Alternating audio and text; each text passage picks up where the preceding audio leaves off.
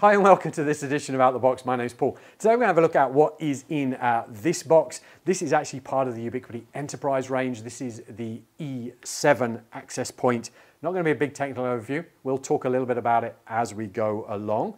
Uh, plenty more information on our YouTube channel.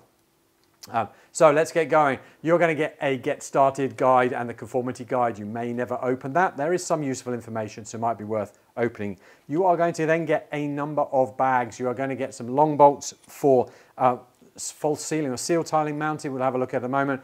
We're going to get uh, a fixing tool and uh, screws for the universal mount bracket. We're going to get our quick release tool.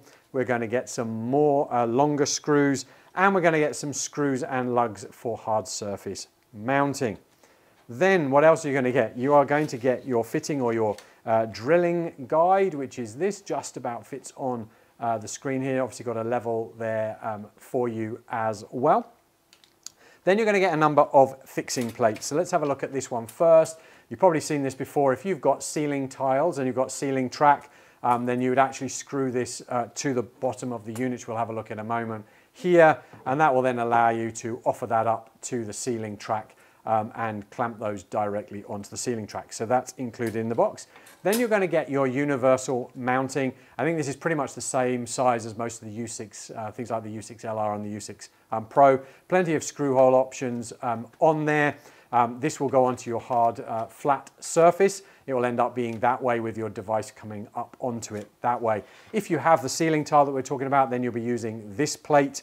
This plate will sit above it and we'll use that long bolts that were in this packet to pass it up through our ceiling tile so that the tile is um, welded, if you like, sandwiched between the two like that. Um, and then obviously we can put the tile back into place and we can bring our unit up to it and twist it and clamp it into place.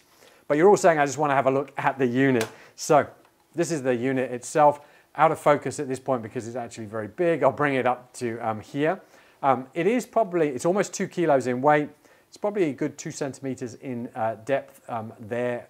So do be aware of that. Not a much to see on the sides here other than you can probably just make out um, our quick release um, hole here. There is an LED strip that runs around the back and I think there's three color options that that can be um, set in. We then do have our Ethernet ports. So let me just turn this over. So this device supports um, 10 gig, so 10 gigabits a second.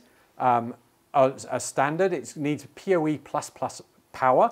Um, I hopefully can just bring that port so you can just see that. I'm just trying to struggle just to get it in the light enough for you. There we go, probably a little bit better there. Um, so you, it will use about 40 watts of power. So do be aware of that when you're um, thinking about what switches you're going to connect this to. It does need PoE++, and if you've got several of these, it's going to consume quite a lot of power. So we've got a, a 10 gigabit a second uh, Ethernet port there. And on the other side over here, we have got a one gig Ethernet port.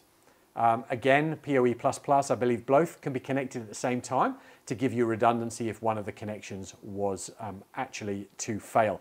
This is a Wi-Fi 7 device. It supports Wi-Fi 6 as well. Um, it runs um, 2.4, 5 gigahertz and 6 gigahertz. Um, it is a 4x4 in the 5 and the 6 gigahertz band and a 2x2 in the 2.4. So a really good little performer there. Um, and obviously with the 10 gig interface has a great chance of carrying um, a good amount of data for you. Uh, on the back here you can see our four uh, screw holes. So again we could directly mount our uh, plate um, that we had here to that if that's the way we wanted to do it. Or if we're actually taking our main mounting disc here, um, this will actually go uh, into place if I can get this in the right uh, angle for you um, and spin round and clamp into place. Um, and then we'd actually use our quick rele release tool um, to just push through that gap. Our quick release tool being uh, this L-shaped item here. Push it through, which will actually basically flick uh, this uh, up and allow us to spin this plate off um, and obviously then bring the unit uh, down to there. So hopefully that's been useful to have a look at what in the box. Plenty more videos over on our uh, YouTube channel about UniFi Network, how to set uh, UniFi Network up, UniFi Protect, performance reviews and those type of things as well. So why don't you head on over there, subscribe and stay up to date.